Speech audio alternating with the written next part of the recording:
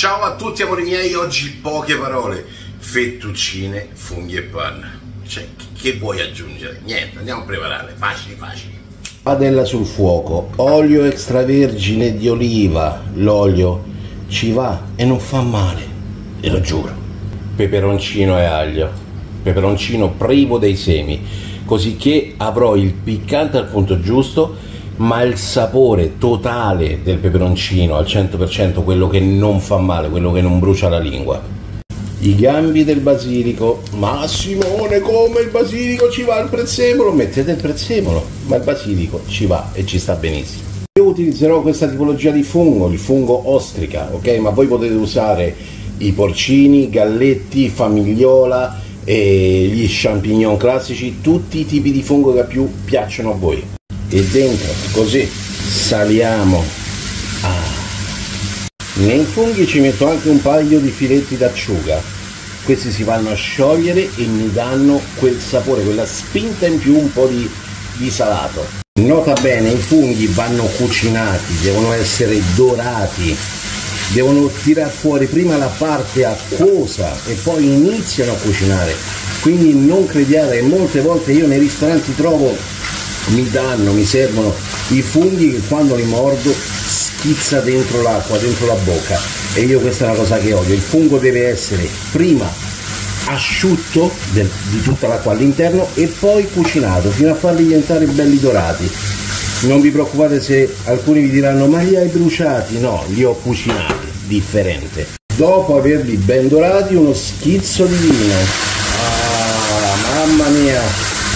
E a questo punto sale un profumo e un vapore. Incredibile. Mamma mia che profumo sentite qui. Che meraviglia peperoncino aglio basilico uno spettacolo. Evaporata la parte alcolica si va giù di panna. Ah, la giusta quantità di panna non ne mettete tanta. Mettete la panna liquida quella che oggi chiamano crema di latte ma di panna parliamo però quella liquida, non quella densa panna chef da cucina, no, quella no, dovete prendere la panna per intenderci come quella da montare ma senza zucchero. E quella lì è l'ideale per cucinare. Perché? Perché sì, perché mantiene i sapori nelle giuste dosi, arricchisce il piatto, lo fa più cremoso e vi mangiate veramente una pasta a 5 stelle con poca fatica. La panna ovviamente va salata, assaggiata e cucinata, non si mette dentro, si fanno due bollicine a posto così, no, deve essere cucinata, deve prendere quasi il colore dei funghi. Adesso la panna è pronta, la pasta è pronta, quindi pasta, panna e funghi. Eccola qui. Passiamo tutto dentro, ci portiamo dietro un goccino di acqua che ci fa sempre comodo. Se la pasta è troppo secca, se vedete che è troppo collosa, mettete, aggiungete un goccino di acqua alla volta, un cucchiaio alla volta, non c'è nessunissimo problema. Si danno due salti e si fanno cucinare per un minuto e mezzo, due insieme alla panna. Deve essere tutto un grande matrimonio. Adesso, prima del grande matrimonio, ci andiamo a mettere il basilico fresco, così. Mamma mia, cosa sale su, cosa sale su. È un profumo assurdo, ma solo adesso lo dovete mettere, non prima, eh. Una bella spolverata di parmigiano o pecorino, se volete proprio spingere il piatto e si va a far innamorare tutti gli ingredienti fino al matrimonio finale. Mamma mia. Ricordo, la panna deve essere cremosa, non acquosa, non collosa.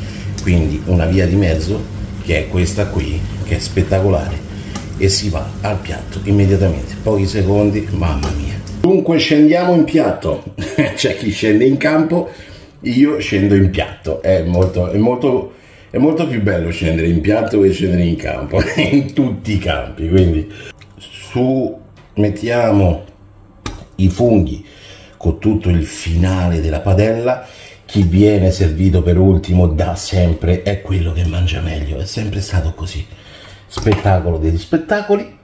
Concludiamo con un ciuffino di basilico e il piatto è pronto. Allora, cuccioli di sboscati, guardate qua che robetta, guardate che robettina, che bella pasta cremosa, saporita, profumata, dovete entrare nel piatto, assaporatelo con gli occhi, perché lui vi ripagherà sempre e comunque.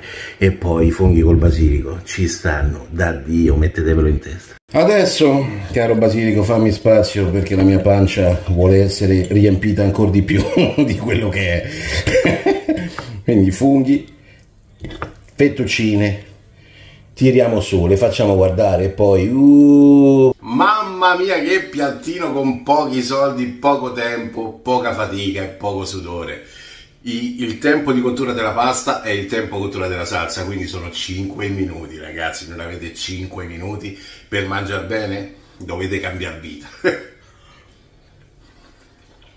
mm. Mamma mia. Poi ripeto, ognuno utilizza i funghi che vuole. A me questi piacciono veramente tanto, tanto, tanto. Così come i, i così denigrati champignon sono buonissimi. L'importante è saperli cucinare. Via l'acqua, sì la, do, la doratura. Quindi acqua no, doratura sì. Alla prossima, condividete, mi fate un favore enorme. Ciao belli. Mm.